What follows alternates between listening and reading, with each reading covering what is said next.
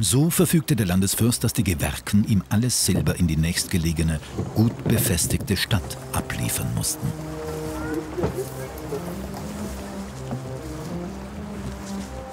Diese Reise ging streng bewacht stromaufwärts zur Salinenstadt Hall. Siegmund bezahlte den Gewerken den fixen Preis von 5 Gulden pro Gewichtsmark Silber. Der Welthandelswert lag bei 10 bis 12 Gulden. Die Differenz war sein Gewinn.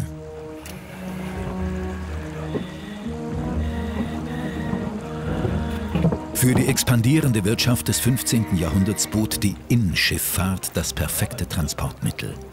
Bis zu 40 Pferde waren vor einen Schiffszug gespannt. Transportiert wurde alles, was die Fernhändler des Mittelalters anzubieten hatten. Pelze aus Russland, Seide aus China und Gold aus Afrika. Nie zuvor sind so viele Güter über solche Entfernungen gehandelt worden. Heute nennt man diese Entwicklung Globalisierung.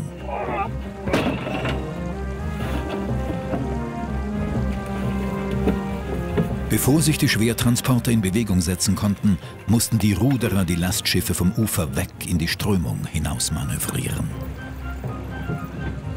Der Stangenreiter war für den gesamten Reiterzug verantwortlich.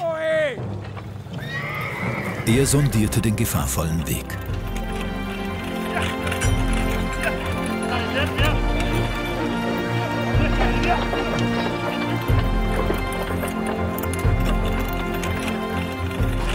Einen Schiffszug mit über 300 Tonnen Fracht schleppten die Pferde oft nur sehr langsam durch das weit verzweigte Flusssystem. An manchen Stellen, wo der Weg für die Pferde nicht weiterführte, mussten sie das Ufer wechseln.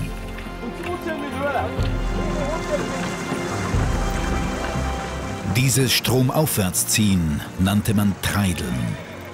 Und weil es oft gar so langsam ging, leitete der Volksmund vom Treideln das Trödeln ab.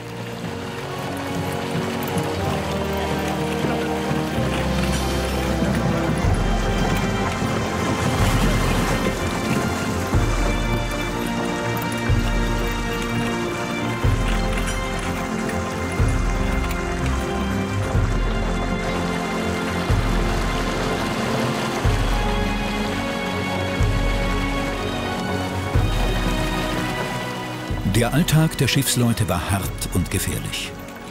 Jeder erhielt drei deftige Mahlzeiten am Tag und zum Durstlöschen sieben Liter Bier.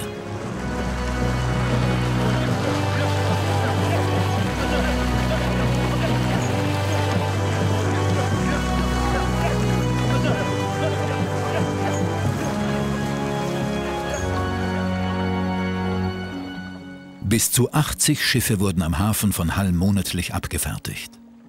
Vor der gut befestigten Salinenstadt spannte sich ein Holzrechen von Ufer zu Ufer, um das stromaufwärts geschlagene Brennholz aufzufangen. Damit war hier Endstation für die Innenschiffer.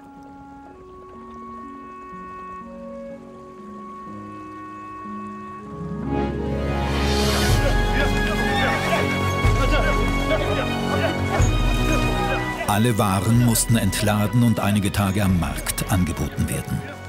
Da kein Ende des Silbersegens absehbar war, verlegte Siegmund auch die Münzprägestätte von Meran nach Hall. Damit ersparte man sich die mühsamen und gefährlichen Transporte über den Brenner.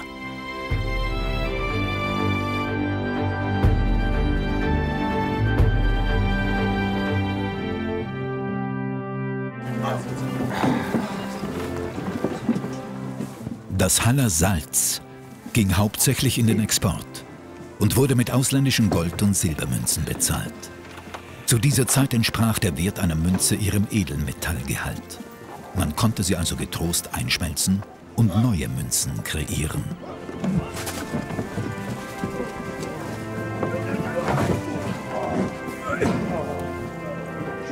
Siegmund ließ Goldmünzen mit seinem Konterfei prägen, den Goldgulden die Währung für den internationalen Handel.